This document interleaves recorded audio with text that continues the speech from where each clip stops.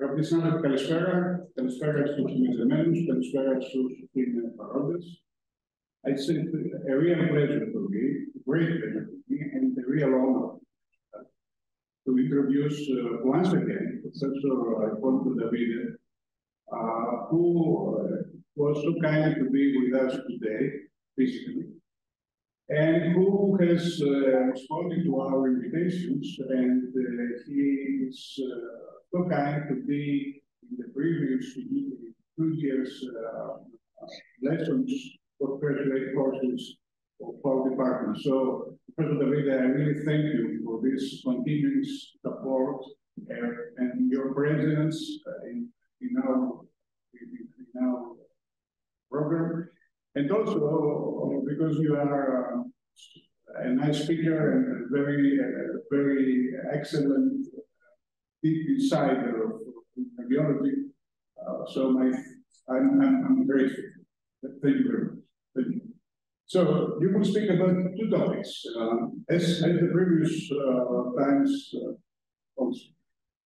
But are, both of them are, are interesting, really interesting. The first one is uh, incident and management of, of other uh, events, ECT after IV contrast agent administration and how should the radiologist approach this topic, which is an everyday practice problem, it's a serious problem. Most radiologists don't like to speak about that. Yeah. And if, uh, if something happens in the department, they ask, please call a doctor, which is uh, not yes. good for radiologists. Or the so. Or So thank you very much for giving his lecture. Uh, and then there's a, a different lecture very different and very interesting concept about a model-based reconstruction of ECT with technical background and non-clinical value. I'm, uh, I'm eager to, to hear you in the second uh, part, which is very advanced. And all of, all, all of us will get a lot from both of us. So thank you once again. Yes.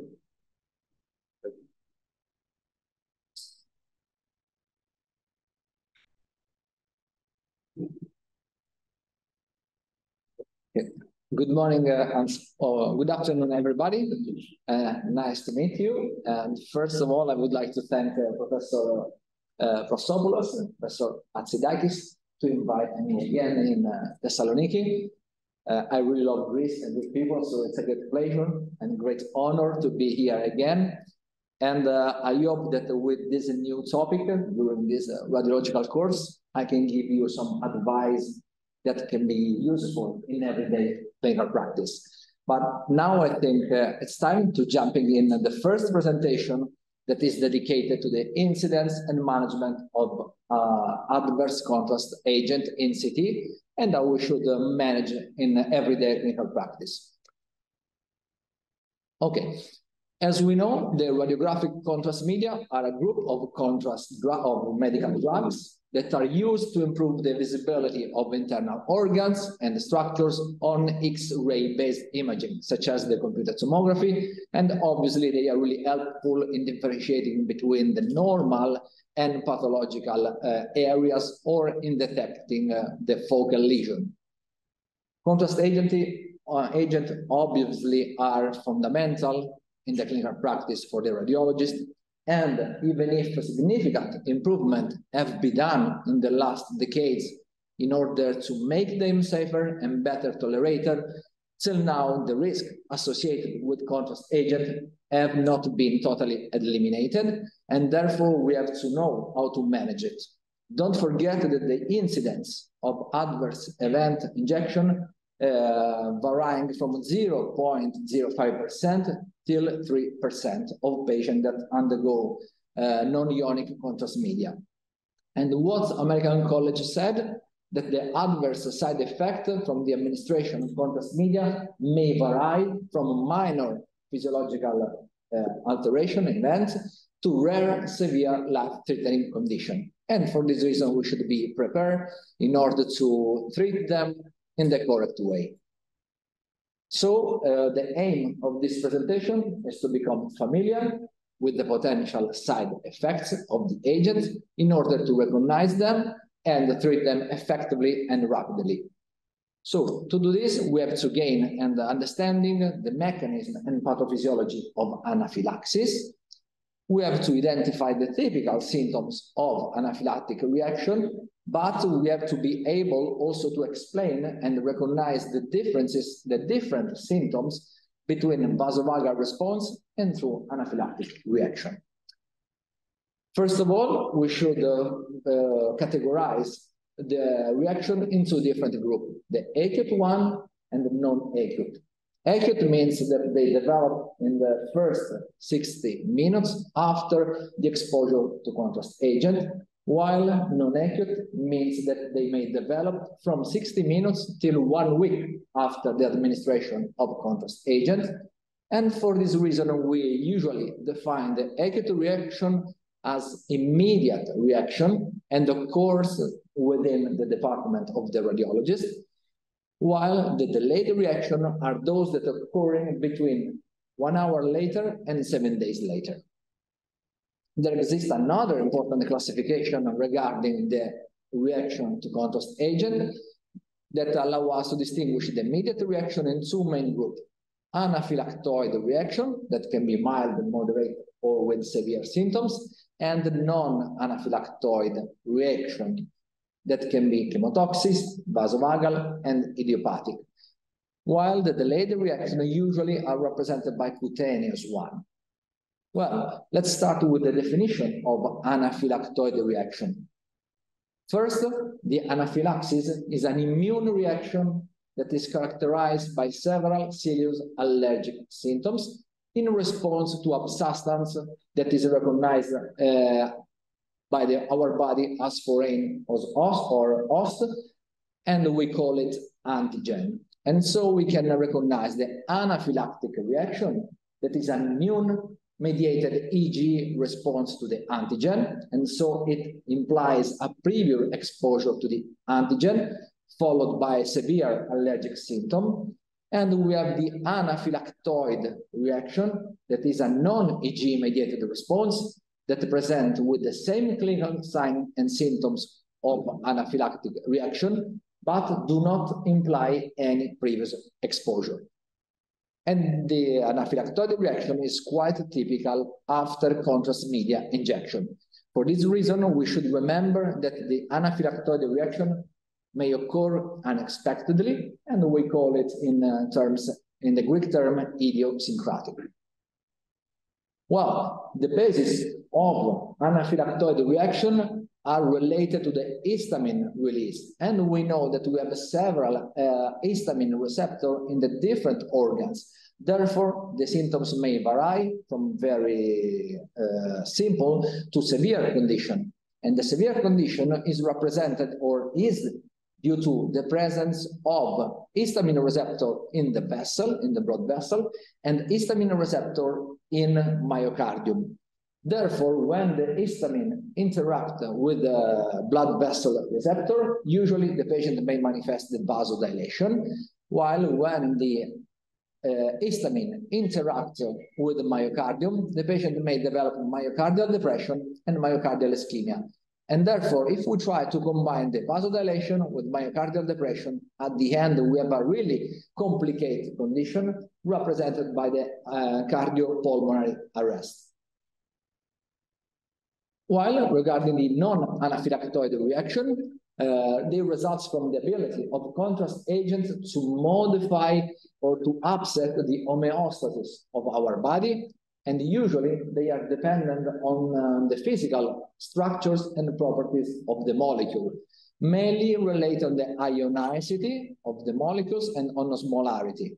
So it means that if we increase the amount of iodine or the amount of contrast uh, media that we inject, we increase the possibility to develop such kind of reaction. That could be chemotoxic, and the patient may develop neurotoxicity, that is transitory, cardiac depression, again, transitory event, or arrhythmia. And for this reason, we should look at the electrocardiogram and we have to monitor it. And how can we differentiate a chemotoxic reaction from anaphylactoid, anaphylactoid one? The chemotoxic reactions are potentially predictable and are more uh, a common event if we use ionic contrast agent, while today in most of the center we use a non-ionic contrast agent. And usually the chemotoxic reactions are strictly dependent on the amount of dose and concentration of iodine. While in case of anaphylactoid reaction, they are quite, quite unpredictable and they are dose independent and are strictly related to the release of histamine. While regarding the vasovagal reaction, they occur as a result of increased vagal tone on the heart and blood vessel, and therefore the patient may manifest bradycardia, decreased blood pressure, also confusion, unresponsiveness, but we should not forget that the vagal reaction in most of cases are not related to the contrast itself, but are related to the CT scan because the patient may develop anxiety regarding the report or some anxiety regarding the needle puncture or abdominal compression and so on. And again, we should be able to differentiate the anaphylactoid reaction from vasovagal reaction. In case of anaphylaxis, the patient have a rapid pulse and a low blood pressure, while in case of vasovagal reaction, the patient has a slow pulse with normal blood pressure.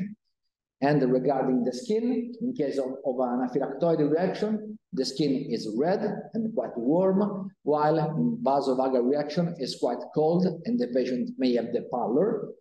The most important thing, patient with anaphylactoid reaction may have cough, urticaria, and itching, while the cough and the urticaria are not present during the vasovagal reaction. And according to the ESUR guidelines, and according also to American College of Radiology, we are used to differentiate three different degrees of reaction. Mild reaction, moderate, and severe. And usually only the moderate and severe reaction uh, needs or deserve any specific treatment. Don't forget that the majority of these events are non-life-threatening condition and uh, they uh, require in most of cases only observation and reassurance.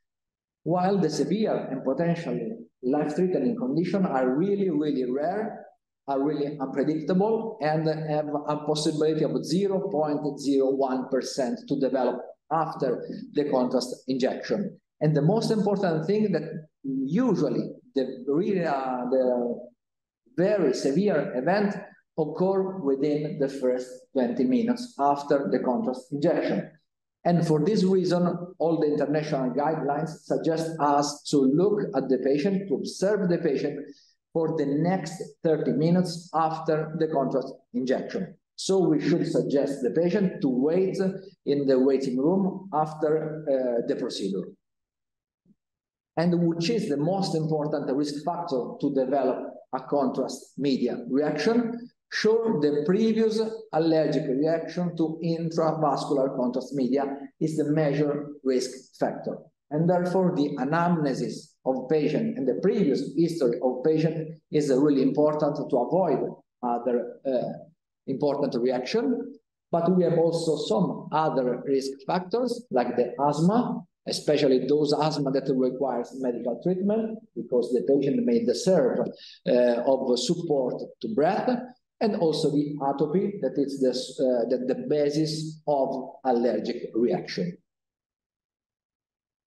But what we can do just to avoid any adverse reaction event, if, if we have an history of previous allergic event, we should consider an alternative test that not requires any iodinated contrast agent, like ultrasound with contrast agent or like MR, or we can uh, have in mind to use a different iodinated contrast agent. Moreover, in the literature, there is a, a debate about the role of the premedication because the international guidelines do not suggest to use the premedication because there is no clinical evidence of its effectiveness. And both for ESUR and for ACR, theoretically, the premedication can be useful only to prevent the less important for the moderate, moderate event, but not it's able to prevent the life-threatening condition. For this reason, is not suggested anymore, but since the symptoms of allergic of uh, contrast media reaction is similar to the typical allergic reaction, we can try to premedicate the patient by using the typical drugs that are useful for the allergic reaction. So the premedication is based on the administration of corticosteroids and antihistamine drug. And if you want to use the premedication, uh, these are the typical approach. Uh, we suggest to inject 13 hours before, seven hours before, and one hour before the contrast CT procedure, 50 milligrams of hydrocortisone plus antihistamine drug, while for child we can use uh, 0.5, 0.7 milligrams per kilo, again 13 seven and one hour before the examination, and again combined with antihistamine in order only to prevent the mild reaction. But usually the correct treatment of an acute contrast reaction depending on the clinical scenario that we can observe after, uh, after the administration of a contrast agent. And so now it's time to show you which would be the most correct treatment according to the different scenario. First of all, we have to look at the patient and look at the condition of the patient. We should understand if the patient is able to speak correctly, if it's able uh, to breathe in a correct way, and if the vital parameters does work correctly. And so what we can have? In case of mild reaction, the most typical symptoms could be represented by nausea and vomiting. And what we have to do in this case, we have to do nothing. We have only to watch the patient and reassure the patient. While in case of urticaria, rash, cutaneous rash, or itching, we have to discontinue the injection if it's not already completed in some cases, no treatment are needed, but the best thing is to administer the antihistamine in an intravenous way to reduce the symptoms. While regarding the moderate reaction may present like dyspnea or bronchospasm, in this case, we have to support the ventilation by using or by giving oxygen via mask. We have to administer the beta agonist to improve the respiration. And we have obviously to monitor the electrocardiogram, the pulse oximeter, and the blood pressure. While if patient develop hypotension and tachycardia, we have to elevate the leg, the leg of 60 degree or more, and we have to administer intravenously the Ringer's lactate or normal saline solution combined with atropine. And again, if patient develop marked urticaria, the basis of treatment is represented by antihistamine drug. If the mild or moderate event resolve by itself or by the drug, we have later to observe the patient until the, the patient symptoms uh, completely resolve in a dedicated area and uh, as already said, we have to look at the patient for at least for 30 minutes. And obviously, we have to offer to the patient some specific advice and specific instruction in case of uh, further need of medical support. So the patient must be addressed uh, to the emergency department just to take in care for further symptoms. While moving to the severe reaction, they may manifest as a laryngeal edema, convulsion, unresponsiveness, or cardiopulmonary arrest. And what we have to do in this case, really simple. We have to call for the resuscitation team and start the so-called ABC protocol, in which A stays for airway, B stays for breathing, and C stays for circulation. And so it means that we should support the ventilation with face mask or with ambu. We have to administer a high amount of saline solution or ringer lactate. And the most important thing is to administer the adrenaline. This is the drug that will save the life of patient. And uh, this uh, combination has the absolute priority in everyday clinical practice. Usually, the deaths occurs mainly to do a delay in the administration of adrenaline because we are afraid to uh, use this drug with the severe uh, results in terms of life condition. But don't forget that until now, there is no absolute contraindication to the administration of adrenaline. And for this reason, we suggest to have only one concentration of adrenaline in the radiology department, because usually the radiologist may use the intramuscular way, while the anesthesiologist use the intravenous way. And I really suggest to use the syringe adrenaline pump that is really convenient to use in every in everyday clinical practice. And differently from those suggested from Quentin Tarantino, we should not use the myocardial muscle, but we use as site of injection the middle third of the tite by use the syringe that is really, really convenient. But in our emergency department, we should have a, a series of drugs that can be really useful for the management of adverse reaction. And so we should have a really well-prepared emergency cart that must contain oxygen, adrenaline, antihistamine, atropine, beta-2 agonist, obviously a large amount of fluids and some support uh, device like the syringe, the needles, the sphygmomanometer, and the breather system.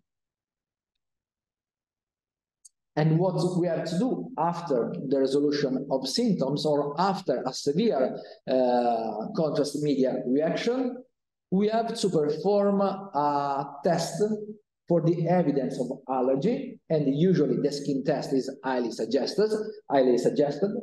And moreover, we have to record the reaction according to the law and to the legislatory rules of each country or of each hospital. And regarding the allergic test, by using the skin test, what we have to test? Sure, we have to test the used contrast agent with others several contrast agents in order to find out any possible cross reactivity. But what we have to know very well is that the skin test offer very low sensitivity, but really high specificity. And for this reason, we cannot use uh, the skin test as a screening test in those patients that never experienced any prior reaction because the skin test in this case has no any usefulness from clinical point of view. And regarding the cross-reactivity between the different iodinated contrast agents, the international guidelines and the Allergological Society uh, write a, a white paper uh, suggesting that the drugs in the group B, represented by iobitridol and ioxaglate, are uh, those drugs that have the less amount of cross reactivity because the molecule is quite different in the structures if compared with uh, others uh, ionic or non-ionic contrast agent. Well, regarding the delayed reaction, usually they manifest as cutaneous one, and they may develop 60 minutes after the contrast injection till one week later. Unfortunately, the real incidence of delayed reaction, it is not well known because in most of the cases, uh, they resolve by itself in the next day, and usually they are not brought to the attention of the radiologist. But which are the typical symptoms? They are manifested uh, like an urticaria, persistent rash, or maculopapular exanthem. And since the basis of the reaction is the T-cell mediated reaction, also in this case, we treat with antihistamine or with cortisone. But usually they are managed by emergency department or uh, by other doctor out of radiologist. But to conclude, we can say that today millions of intravascular contrast media examination are performed each year and the adverse side effects are really unfrequent. And obviously, usually they have a relationship with the pre-existing condition of patient. So don't forget to take a good anamnesis in this patient. And this adverse side effect may vary and ranging from minor to severe life-threatening condition. And we have to know how to treat them in the correct way. And we should be prepared with the emergency card and with our knowledge that should, that should be renewed every year.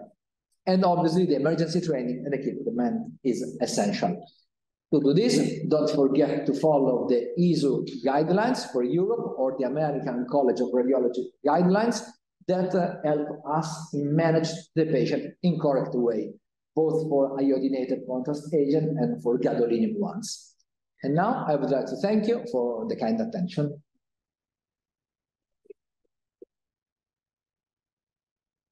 Thank you very much for this nice overview. The, uh, how, what to do. Yeah. What you need to know and what to do.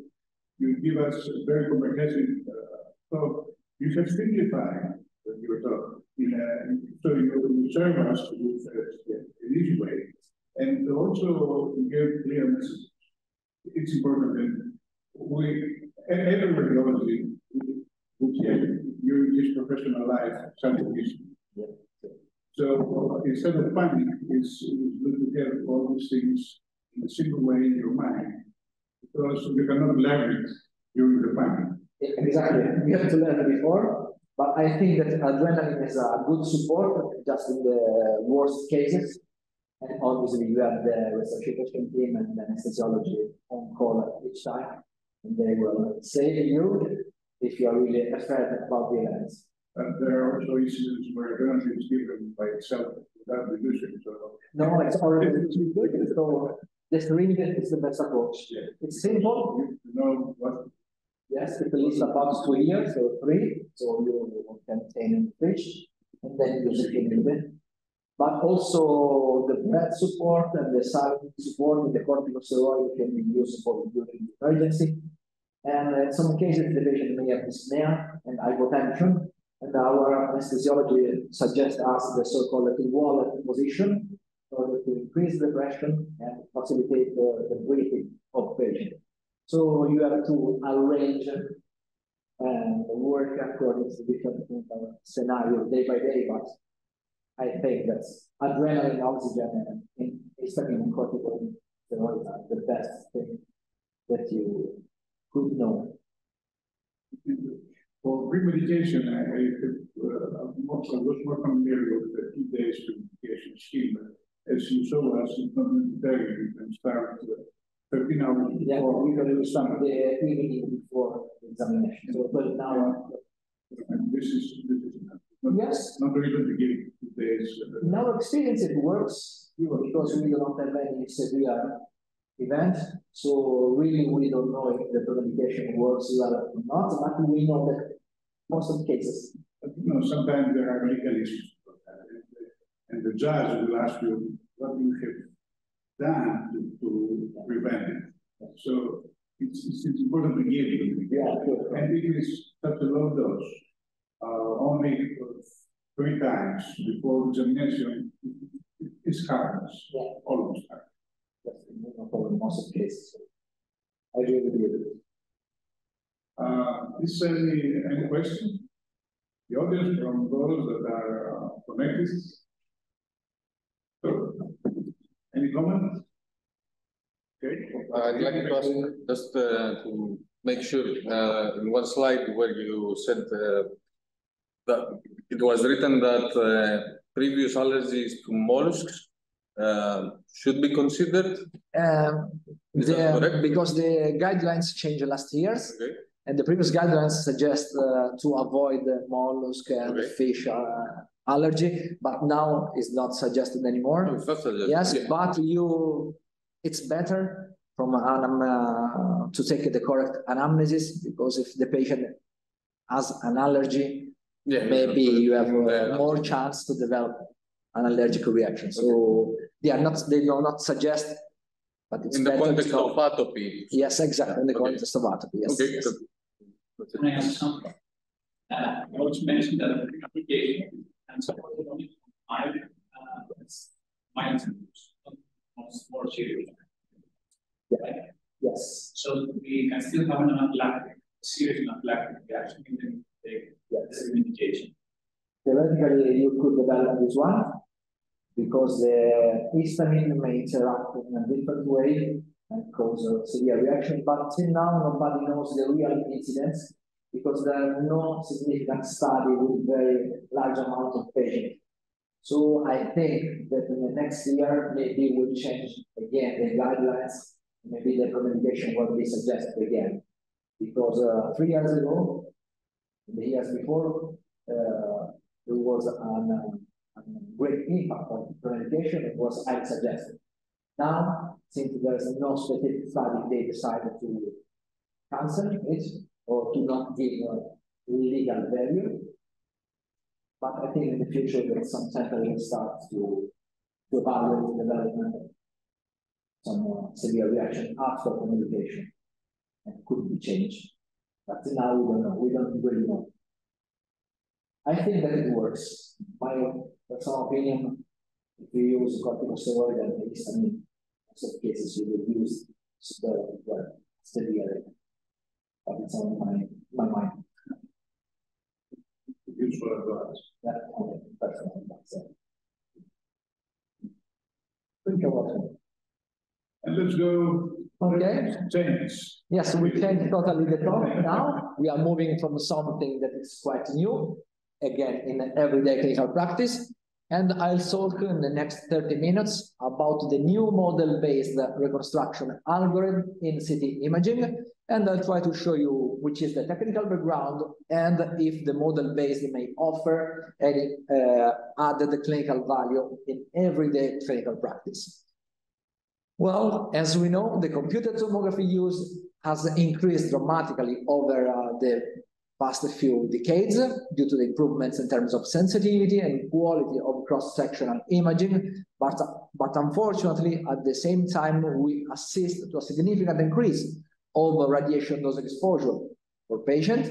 And for this reason, today, all of the radiologists must work in line with the so-called ALARA principle, that suggests us to use the low radiation dose as possible, but maintaining the best quality of image as possible.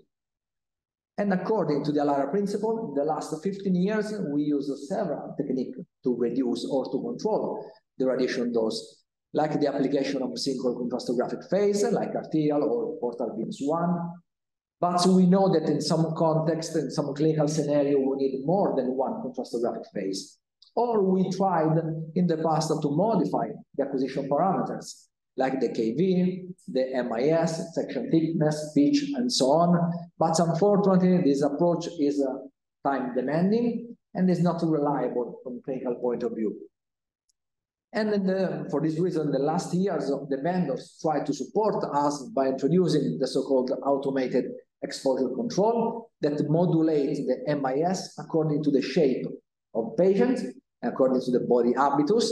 And another great intro, uh, clinical introduction was the use of hybrid iterative algorithm that is able to reduce the noise from our st standard imaging, starting from FBP, moving to the image domain that they are able to correct the amount, the amount of uh, not only of radiation dose, but of uh, noise also.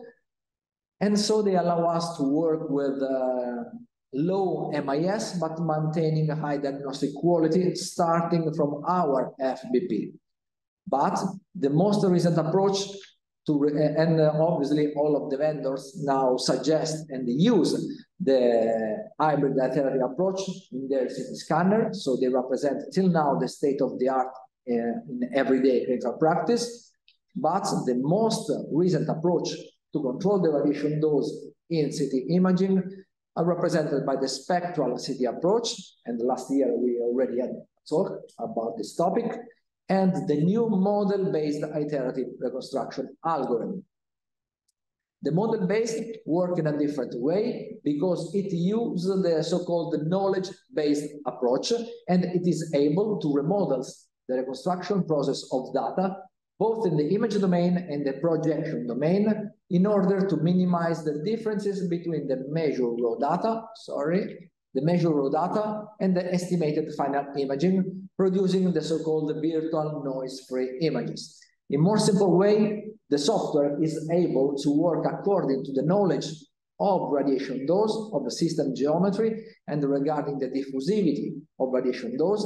Then he compared the images with uh, the results with the standard images because he has inside a modelization of different anatomical structures and the combination of, of both knowledge uh, will produce a new way of images that is totally completely different from the past. Because when we work with the hybrid iterative approach, we started from FBP, we work only in the image domain, and we were able to clean the excess of noise.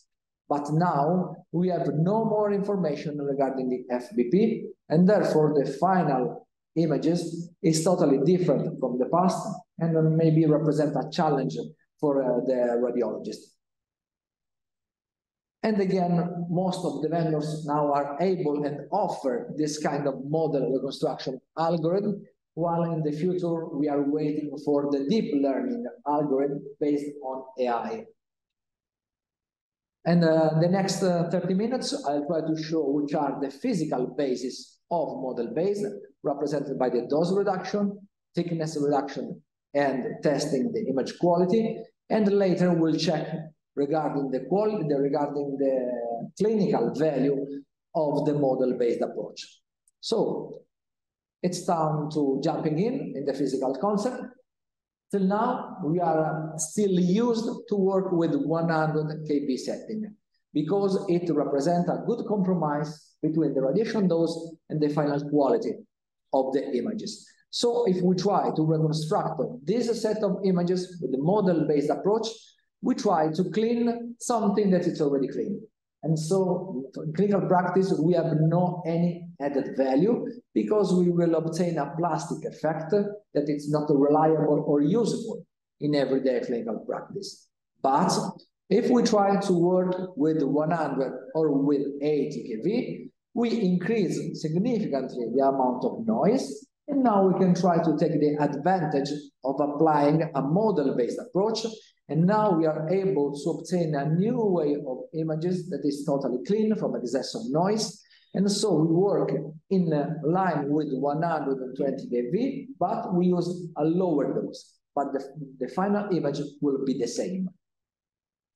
And which are the consequences of working with a low kV approach? First, we will able to reduce significantly the radiation dose delivered to the patient but we increase obviously also the image model that may uh, degrade the image quality, but the model-based approach will uh, improve the final quality. But I think that the most important thing to remember is that working with the low kV approach, we will able to approach the K edge of iodine. And so it means that we are, are able to increase the conspicuity of iodine and the contrast noise ratio of our set of images. And let me show you a typical example.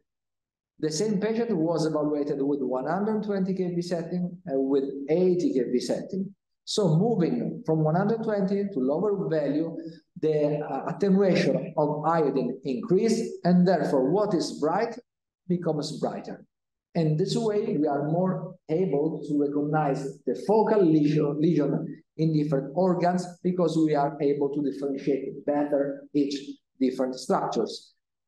And for this reason, the organs that may benefit more from model-based approach are those organs in which we have a great difference in terms of absolute attenuation values, like in the lung, where we have the air and we have the soft tissue and bones as well, or most important, in the angiographic study, because in the angiography CT, we have the high attenuation of contrast agent compared to low attenuation values of surrounding structures.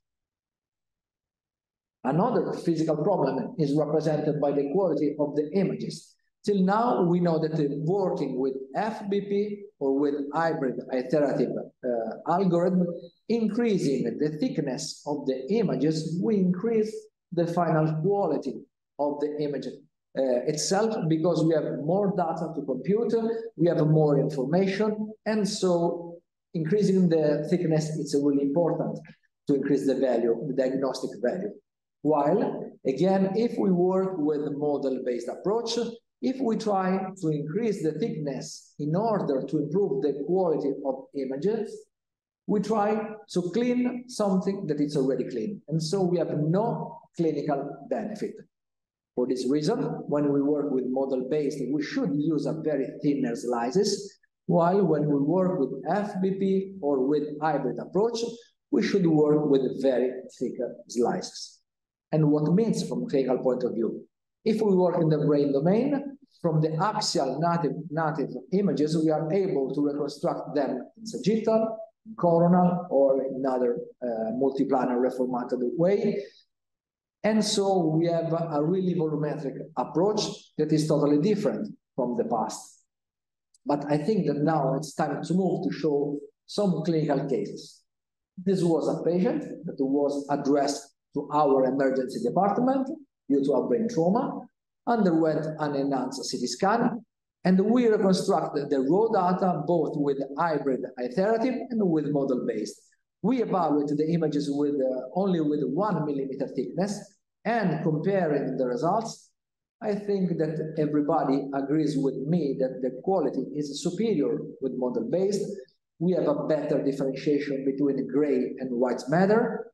We have a better delineation of the convolution and a less amount of texture. And if we try to look at some specific disease, like this hotspot hemorrhagic hotspots, is more evident and clear in model-based if compared with the iterative one. But the same results can be obtained also in the abdominal domain. This was a patient, again addressed to emergency department due to abdominal pain, already underwent ultrasound examination, suspected for biliary uh, disease. Unfortunately, with ultrasound, we are not able to evaluate the distal tract of the biliary system, and therefore the patient was addressed for CT scan. And here we are looking at coronal images reconstructed again with hybrid approach, with model-based approach, again with one, with one millimeter thickness. I think that, again, comparing the results, the amount of noise is really lower in the model-based, even if we work with one millimeter thickness. We have a better differentiation between the biliary tract uh, if compared to surrounding parenchyma. And looking at the stones, we have a better delineation of the pathological disease if compared with hybrid one. But if we want to know if the model-based works in the correct way, we should uh, test it in something that is outside from our organ and to understand if the model-based give the truth, we should test the air around the patient because usually the air should not have any texture. And so what we can do, we can draw a region of interest in the air around the patient. We can measure the standard deviation of Hounsfield units and moving from iterative to model-based one, we assist a reduction of more than 50% of noise. So if I ask you, does the air around the patient have any texture or not? I think that everybody agrees with me that the air should not have any texture. And the same approach could be done inside the human body, trying to testing uh, another component that should not have any texture, like the fluid or the content of a urinary bladder. And again, drawing a region of interest, we reduce the standard deviation of more than 40%. So I think that the model-based is more close to the truth if compared to hybrid approach. And so to summarize this first part of presentation, I can try to reconstruct my standard liver imaging in coronal plane with one millimeter thickness. I use the iterative system. And now I can try to blow away the dust, and this will be the final results. A new fantastic way of images with better delineation of the different organs, of the different components, and the angioma lesion is more clear and more evident if compared to standard hybrid one. But now I would like to summarize the history of CT reconstruction algorithm by using the eyes of painter. And obviously I'll try to use a typical Italian view represented by the Venice Arbor. And I start with Monet, that was an impressionist, and uh, his technique was full of uh, noise or full of pixel, and so was quite similar to FBP. We know that is that the city is Venice. This is the arbor. It's quite close to the reality, but it's not the truth. So we can move to another painter that's called Canaletto. He was a vedutist, and his technique was completely different because he wants to reply the reality at its best, and so the final results is closest to the two, and we can compare these results with iterative reconstruction algorithm.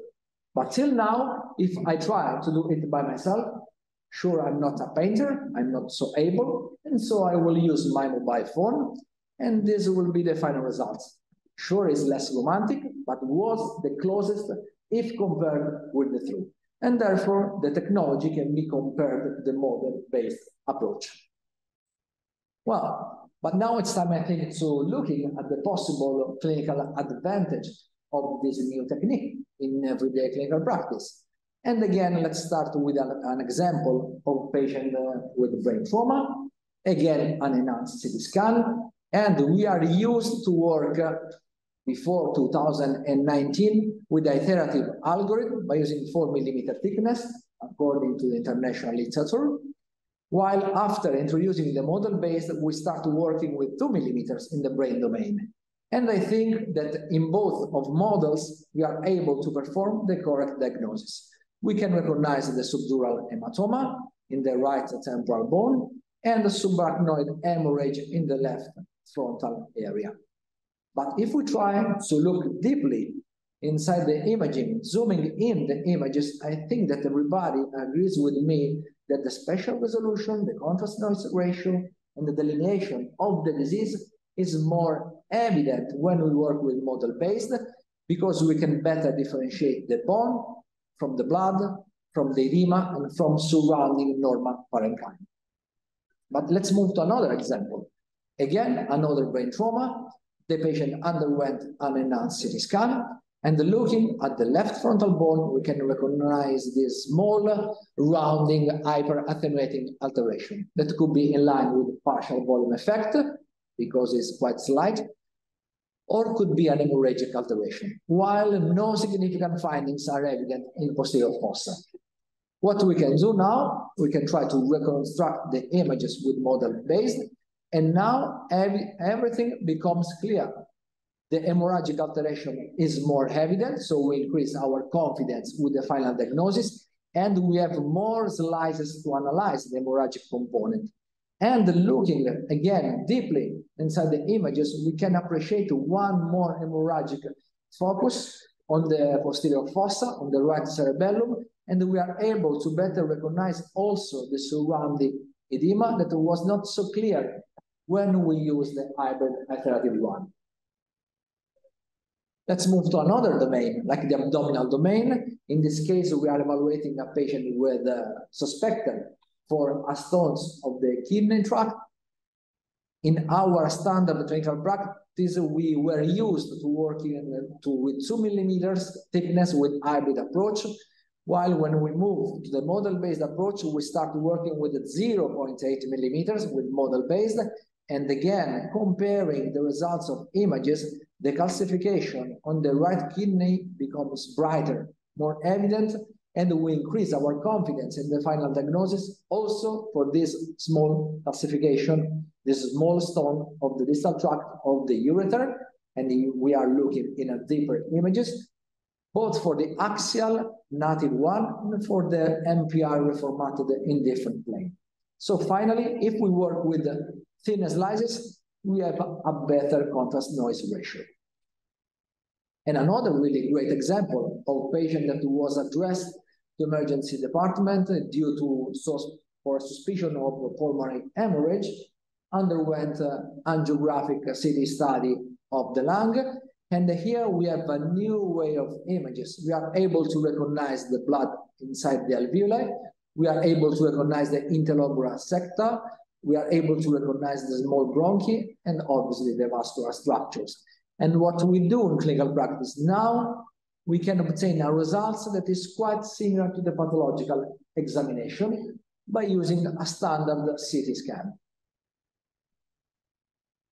And regarding the dose, I would like to show you this example of patient with a known urinary bladder cancer on the right side wall that underwent several follow-up. In this case, we are comparing the results from two different CT scanners. One equipped with the hybrid uh, algorithm, the other one was equipped with model-based. And what happened that by using the multi the same multiphasic approach, we obtain the same results. We are able to perform the correct diagnosis. We are able to recognize this other small tumor. But if we look at the total radiation dose, we were able to reduce it of more than 48% because now we work with 100 kV in all of the patients if compared with the past when we work with 120.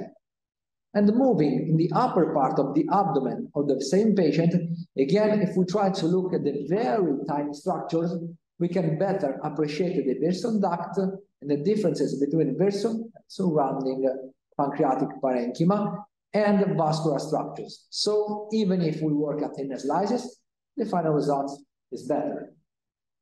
And let me show another example of patient with the lymphoproliferative disease that again underwent several uh, CT scan. We acquired only the portal venous phase. And if we, if we try to look at the simple cyst of kidney, again, we recognize the significant reduction of texture, better image quality, and again, if we try to look at the pancreatic gland, I think that this small IPMN of the body of pancreas is more evident when we work with model-based if compared with hybrid approach. And again, if we try to look at the dose, we were able to save almost the 44% of radiation dose, increasing the final quality of images. So, which are the benefits of model-based? It allows us to work with the really low noise images. We can modify our CT protocol, and so we can start working with low dose approach. And the final result is the high level contrast detectability. And for this reason, in our clinical practice, we modify all of the standard protocol, like in the angiographic study or in a coronary CTA. Now, in all of the patients, we work with 80 kV except for those with a really high body mass index, uh, more than 30. In all of the cases, we use only 60 or 50 milliliters of iodinated contrast. And by using a dose that range from 0.5 to 1 millisievert, this is the final result. High level of diagnostic images, well delineation of the vascular structures, multiplanar and volumetric assessment at once by using only few amount of radiation dose.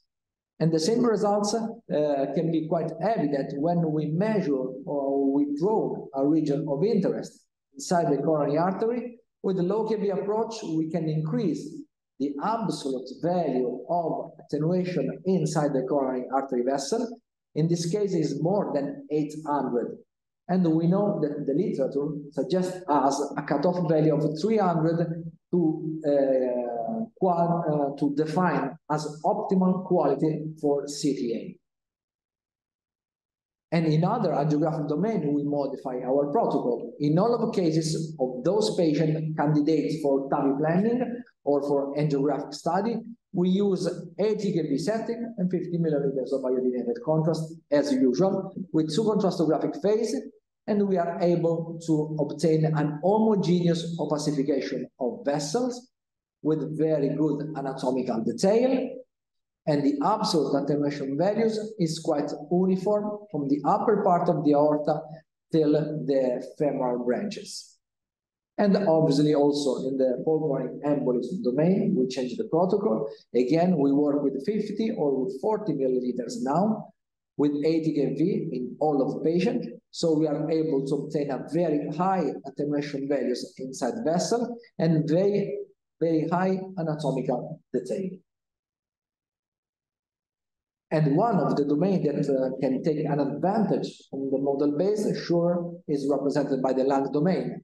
Now we can try to look at very subtle attenuation inside the parenchyma, like this simple bulla or emphysematous lesion that can be recognizable both with IM uh, with the hybrid iterative, but I think that with model-based they are more evident. And again, the amount of texture is significantly reduced.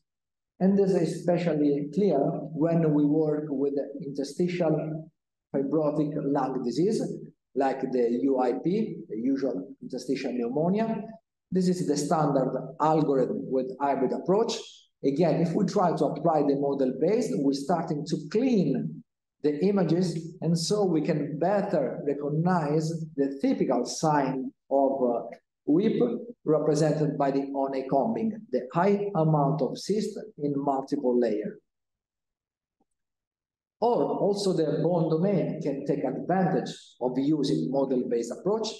In this case, we are studying a young patient that underwent endothesis on the right talus and evaluating both angle, both ankle at once, really wide range volume. We work with a very really low dose that it's comparable to a standard multiple X-ray projection for both angles. But which is the most important thing? If we try to look around uh, the metallic uh, uh, device, we have no significant beaming artifact due to the model that is able to clean the excess of noise. And so now I would like to show you my mood when I was a young resident. I was really excited by volumetric approach, by uh, 3D images and multiplanar reconstruction. But now everything is changed because I'm more confident with myself. I know that I can look deeply into images and find out something, something that it's really useful from a clinical point of view. And I think that now you are wondering if model-based approach can really modify the management of patient after CT scan. And again, let me show you some example. In this case, we are looking at patient with a known ovarian cancer that underwent several follow-up just to exclude the relapse of disease and looking at the images with hybrid approach with coronal plane, we can recognize this simple cyst and this lightly hypoattenuating alteration uh, along the right diaphragm in line with uh, peritoneal carcinomatosis the patient has a free fluid, but looking at this set of images, the patient should undergo surgical treatment, removing the neoplastic nodule. But now what we can do, again, we can try to reconstruct the same set of images with model-based approach.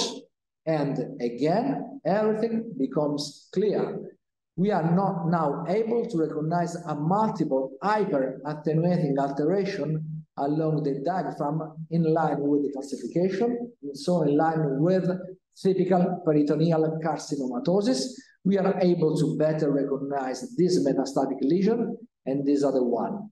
And so at the end, we moved from surgical approach to the chemotherapeutic approach. And looking at the details, they are more evident with model-based, especially for those tiny calcification. And also looking at the native axial images, again, moving from one technique to the newest one, we can better appreciate the uh, thickening of the right diaphragm and also the metastatic alteration is clear with model-based if compared hybrid approach. Another case of patient that uh, was addressed to our center due to a thoracic pain suspected for myocardial ischemia, underwent coronary CTA, and here we are looking at the results obtained with hybrid iterative approach. In this case, we use 100 kV, and along the right side wall of the left anterior descending, we can appreciate this homogeneity that is no longer recognizable in the MPR on paracoronal plane or in the pure axial plane. So we are in trouble about the final diagnosis. What we can do? we can try to reconstruct the images with model-based. And again, now I'm more confident with the final diagnosis because I can differentiate the fat from the soft tissue from the artery. And so we can increase our final diagnosis, making the positive remodeling. And so the patient deserves some drug treatment in order to avoid any myocardial event with more confidence if compared with hybrid therapy. And another really funny case, because this was a cardiac surgeon of my center, that due to some a specific symptom underwent CTA, but unfortunately he made a deep breath and we acquired the incorrect angiographic phase because it was perfect for pulmonary artery and not adequate for the aorta and for coronary itself. What we can do, again, we can reconstruct the images with model-based, we can clean the excess of noise, we are able to look at the absolute attenuation values that is really higher, is almost 500.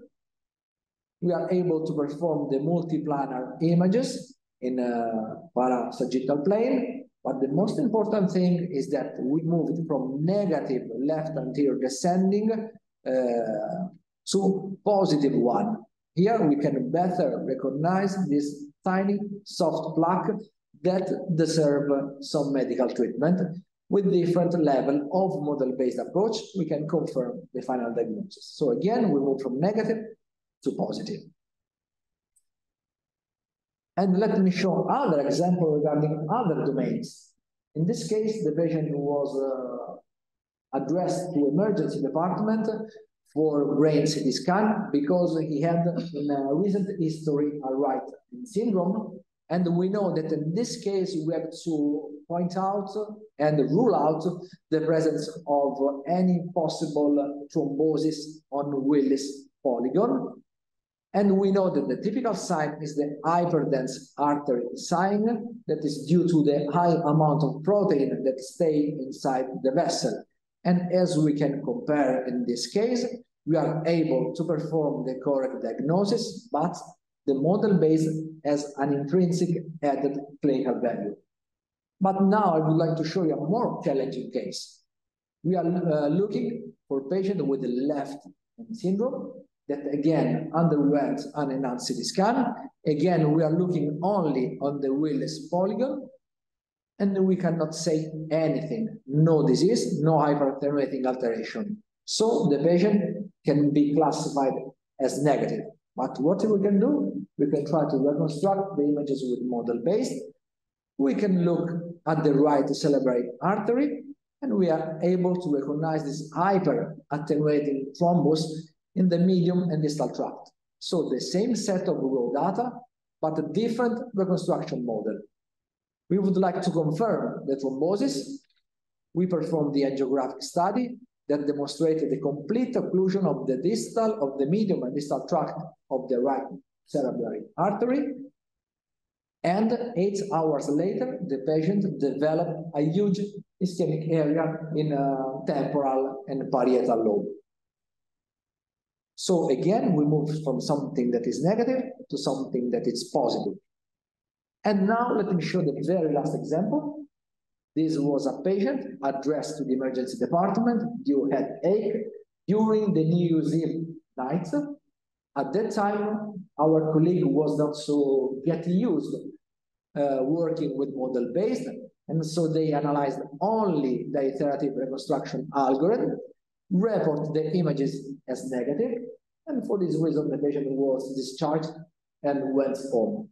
But one week later, the patient came back to the hospital due to a coma status, underwent an CT that is showing this huge hemorrhagic component in the temporal lobe. And after the angiographic study, we make the diagnosis of uh, middle cerebral artery aneurysm rupture and developing of uh, big lake of hemorrhage. What we can do, in this case, we can try to relook at the set of images that was already reconstructed with model-based and trying to compare the results the aneurysm was already recognizable, but at that time we were not so confident with the model-based if compared with iTherapy. And freezing the images, I think that everybody agrees with me that the aneurysm was really more evident. And again, in this case, we theoretically could be able to prevent the, the, um, the, the unpleasant event represented by the hemorrhage, uh, of hemorrhage of brain.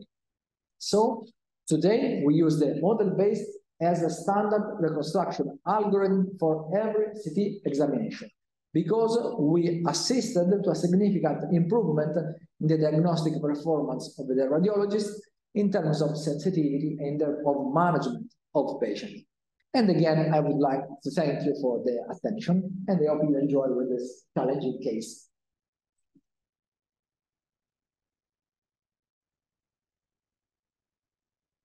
Thank you for this spectacular uh, and images are impressive and uh, convincing. Because uh, there is no reason uh, for the manufacturers to improve their machines to add new rows. So with the same data, you can have uh, increasingly better results. The images that you can show to us are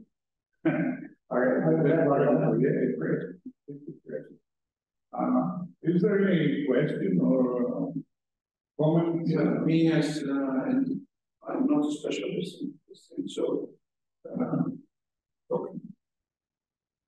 for every resident here. Um, this is a special software.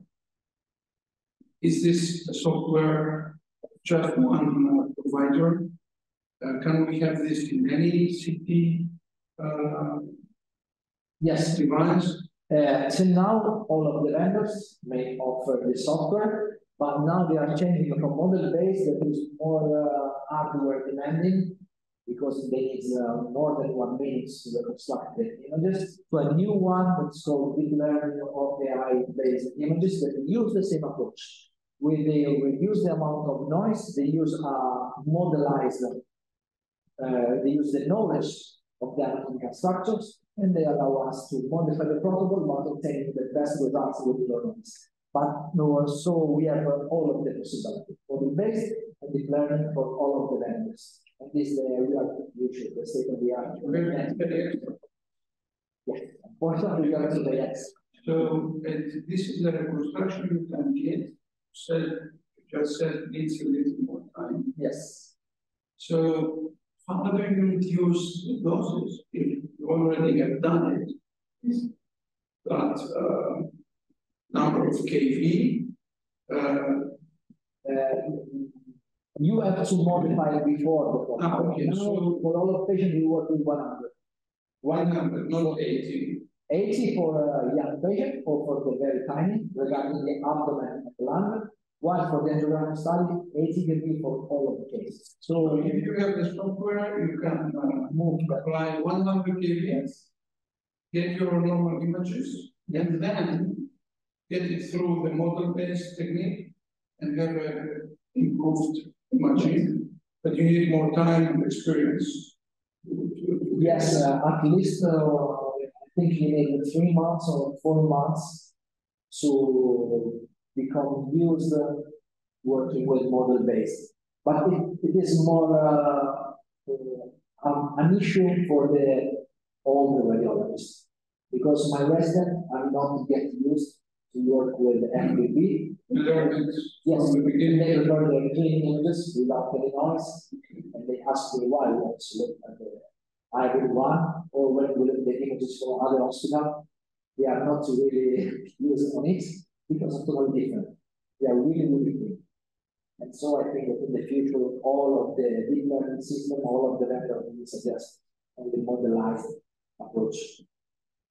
So it's, it's, it's, it's correct to say that the, the model-based approach is the first step for to distribution. Yes, yes, And, uh, yeah. when artificial intelligence comes in everyday practice, probably we would have, um, better model-based approach with even more, less uh, noise and more clear image. Is anything to lose with this, uh, progress? Or is only, only, only gains? Theoretically, we should be having the gains, but uh, I have to try. We have almost we will start the first Italian learning system from Philips. And so we will test. We try to understand if uh, it offers the same information or more. Because having a different CT scanner, we can compare the results and follow and decide if it really works. We try to do what we have did with the model based.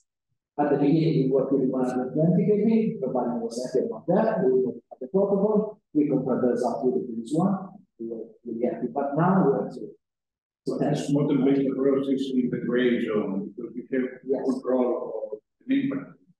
But if artificial intelligence comes, probably you can, Yes. you have no control.